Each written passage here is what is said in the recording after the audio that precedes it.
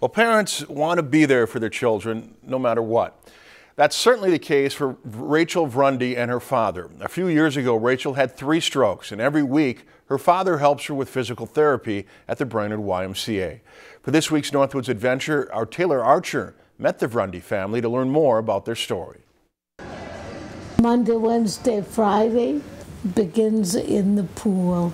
Three days a week at 8 o'clock in the morning, you can find Paul Vrudny in the pool helping Rachel with a series of physical therapy exercises. Paul used to be a physical education teacher and knew the basic skills to help his daughter feel better. Most of the exercises and things that we learned in physical education are adapted to therapy. In November of 2011, Rachel had two strokes. Six weeks later, she had a more severe stroke that left her legally blind and physically limited.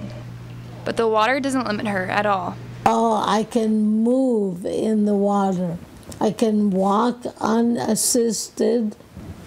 Dad does therapy moves with me, but I love being in there. And Rachel is no stranger to the pool as her and her siblings grew up actively swimming.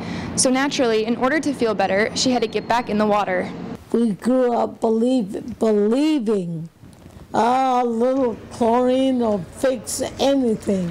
While the exercises are meant to help Rachel, her father admits that the time in the pool is something he looks forward to as well. She needs it, and it's not hard and uh, actually, I kind of enjoy it. Through even the toughest of situations, the Vrunny's love for chlorine remains strong.